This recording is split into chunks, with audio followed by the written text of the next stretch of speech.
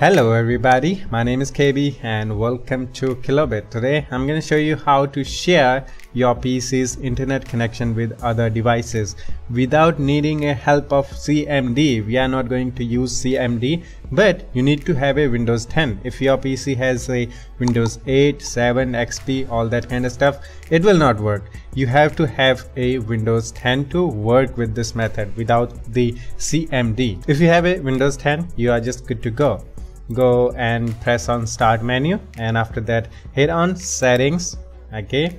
And it will bring this setting okay? And after that hit on network and internet click on that. And uh, you will see there will be the mobile hotspot setting. You just have to click on that. And if you don't see the mobile hotspot setting that means your windows 10 is older version. Please update your windows 10 and after that you can try okay so after you hit on mobile hotspot settings you will see uh, uh, mobile hotspot share my internet connection with other devices. You just have to turn this on.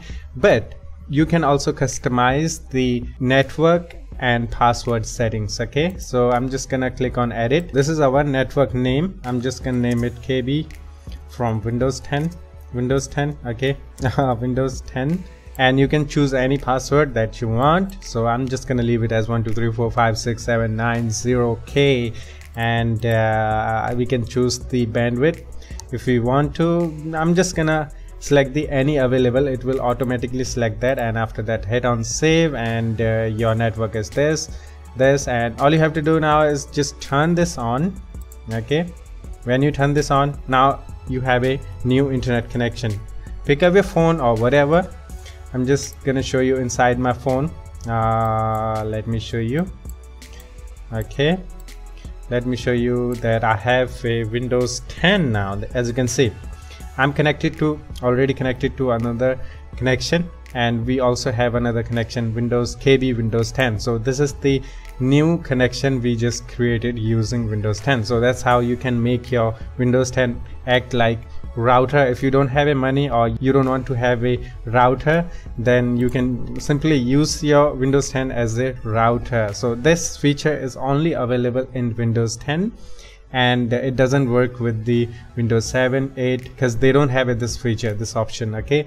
So if you have it in case in any case if you have a windows 7 or 8 there is a method without the cmd you have to use the command promote. You can do that but without the cmd if you want to do that it's just simple. Uh, my favorite software to share my internet connection is mars wi-fi. I have used this software from long time uh, when i didn't have the router and you know no money.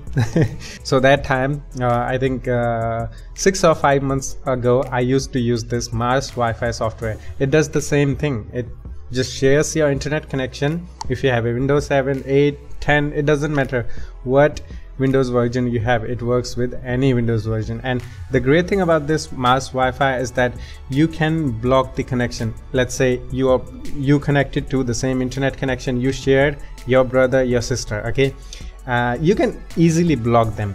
They will have an internet connected thing but uh, they will not be able to surf the internet. So this mars wi-fi can also block the connection internet connection. So that is really cool. So yeah I think that's all for this one guys. Hope you enjoyed it. And uh, if you have a Windows uh, 7 or 8 you know uh, I suggest you to use this Mars Wi-Fi software. I will put link in the description for this. And if you if you want to upgrade to Windows 10 I will also put link in the description for Windows 10 ISO file. You can go there and get the Windows 10 install it and have some new features okay? And yeah I will see you in the next one. Take care of yourself and have fun. Bye bye